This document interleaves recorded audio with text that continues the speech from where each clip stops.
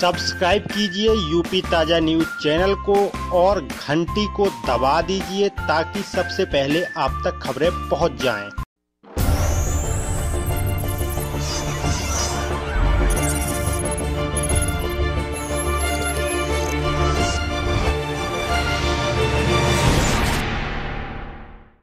यहाँ जो पशु बाड़ा बनाया हुआ है बाँस बल्ली से वो सब किसान लोग अपने पैसों से चंदा कर करके इकट्ठा किए हैं और यहाँ गायों की व्यवस्था बनाए हैं।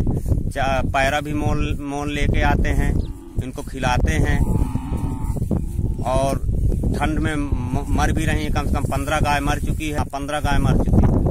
शासन की तरफ़ से कोई व्यवस्था न मिली ना कोई पैसा मिला ना पशु के खातिर कोई चारा मिला।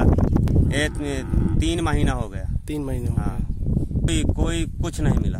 कोई नहीं आया ना कोई डॉक्टर आया ना कोई अधिकारी आया। शासन के तरफ़ से कोई सहारा नहीं है ना आज तक मिला है। ये सब गाँव की तरफ़ से किसान लोग चंदा करके बाहर से पैरा मंगाया जाता है। लेकिन प्रशासन से अधिकारियों से कुछ नहीं मिला यहाँ ग्राम पंचायत यानी प्रधान प्रधान की तरफ़ से वो भी जो हो सकता है तो मदद कर देता है। और नहीं, सब किसान लोग चंदा करके बाहर से पैरा मंगाते हैं। हमारे यहाँ पैरा भी नहीं नहीं मिला था मैं सब अपने किसान लोग चंदा कई के यहाँ दयाती तो वही कम है जो खवाओ तुम्हें और कुछ नहीं है। शासन से कोई सहारा नहीं आज तक मिला। बस अकेले हो। एक नरेगा दिया कहेगा कि तुही मिली है। तो माने अभी आज तक मैं एको नरेगा नहीं पाया। तीन महीने हो गए। एक रुपया नहीं मिला बे दस बारह गाय माने जानवर खत्म हो गए ठंडी में? दस बारह खत्म हो गए मौके में एक ही पर अच्छा एक बड़ा है अभी। हाँ। अब किसाने लोग ट्रैक्टर आई हैं तो फिर भगाओ किसान लोग जो लेके आई हैं मौके में। इलाज नहीं भर नहीं कोनो को आज तक डॉक्टर आ हुआ है। वो नहीं आ हुआ है। शासन की तरफ़ से को नहीं आ हुआ है। सब किसाने सहयोग कर थी चंदा कई कई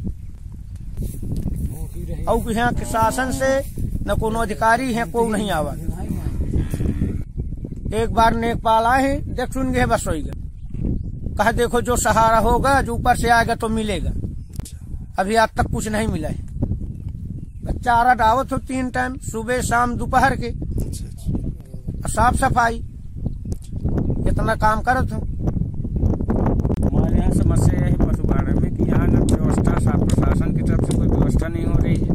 जो भी कार्य है ट्रैक्टरों से अपने सा, सारे किसान मिल करके चंदो वसूल करके अपना का चारा की व्यवस्था कर रहे हैं अपने फ़सल बचाने के लिए। शासन से अभी तक कोई सहयोग प्राप्त नहीं हुआ है। बाँस बल्ली ये सब इकट्ठा करके गाँव बरार करके गाँव से इकट्ठा करके सब बाड़ा बनाया पशु बाड़ा बनाया।